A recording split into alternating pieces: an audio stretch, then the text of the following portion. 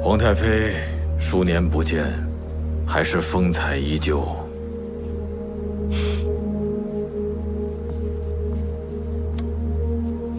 我不过是个闲人，除了每日练练剑，也别无他事。多年不见，韩大人日子过得好吗？处理一些朝务而已，都好。韩大人突然来怀州看我，是不是太后出了什么事？燕燕她很记挂你，恐怕是她自己身体快垮了，担心龙旭制约不了我，才会今日让你来见我，对吗？燕燕不能拿大辽的江山来冒险，我也不能。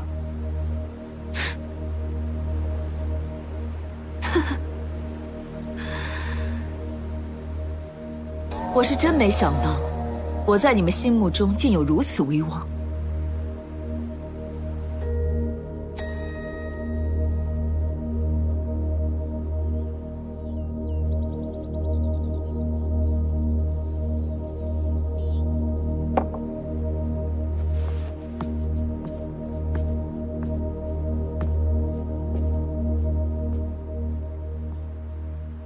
我近日也总是梦到年少时光。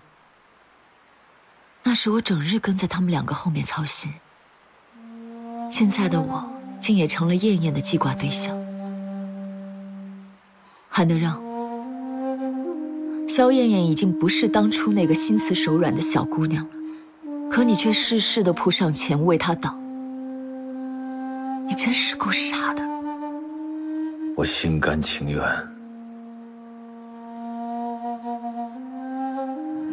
胡年。人一辈子，总会为自己爱的人去做一些本不愿做的事儿，就好像你为了他揽阿伯。我有时真的好羡慕燕燕，他一生所爱，始终待他赤诚，还可以和他相伴到老。不是每个人都像她那么幸运，我就没有。一生不易，今日有什么想说的，索性就都说出来吧，我在这听着。燕燕入宫之前，我跟父亲说，我要带燕燕入宫，希望燕燕得到幸福。没错，我以为是这样，但多年后回想，其实并不是这样。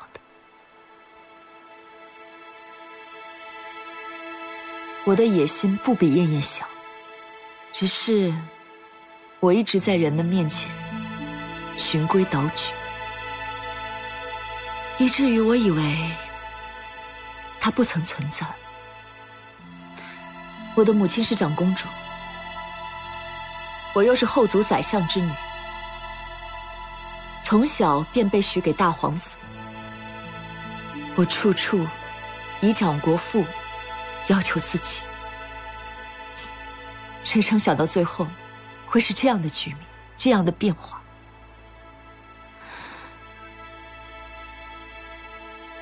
权力真的太可怕，就像是一个逃不开的漩涡，将所有人都吸进去。胡年，你说当日如果……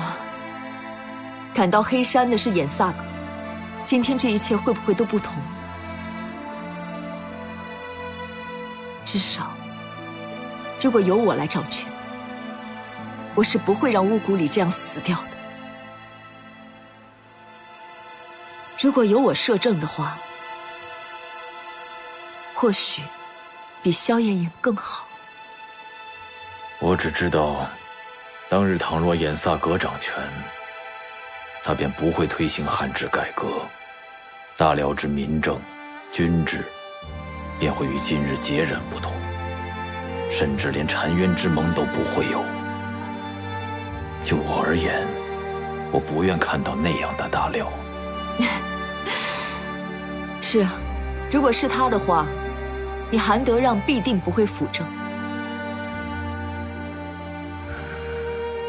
那还真不知道大辽会变成什么局面。所以世间之事变幻无常，就好像我和你认识比燕燕早，年龄也更加相仿，但你爱上的却是燕燕。我们都藏得太深，太被动了，只会为了所谓的大局瞻前顾后，而燕燕，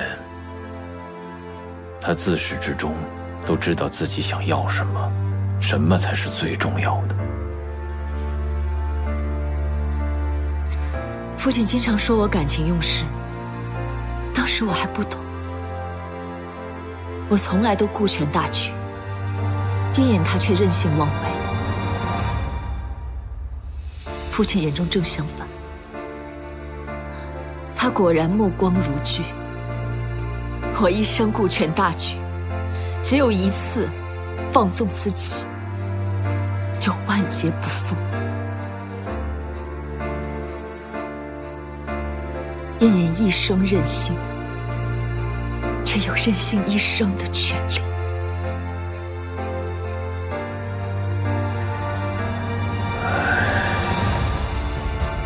你我相识相知，如今你来送我最后一程，也算是一份缘吧。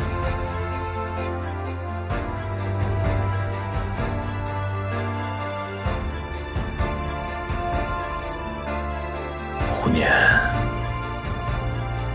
你想多了。燕燕只是想让我来转告你，此生与你为姐妹，她幸甚至哉。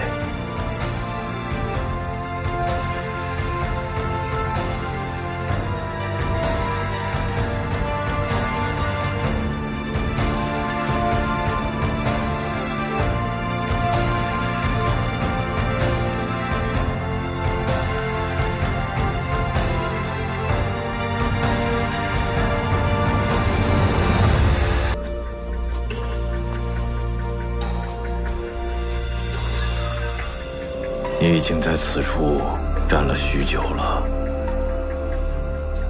十八岁那年，大姐把我从这烟云台上带了回去。从那以后，我的命运便和这片土地紧紧缠绕在一起。帝王孤独，我所爱者都一一离我而去。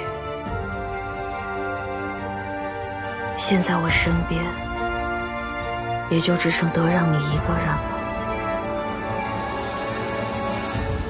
想当年，你我南下，看到的都是民生凋敝，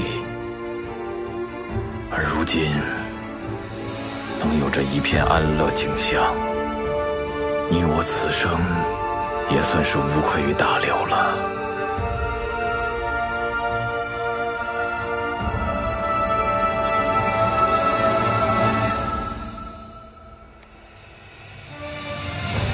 陪你完成此千秋功业，我此生已无憾。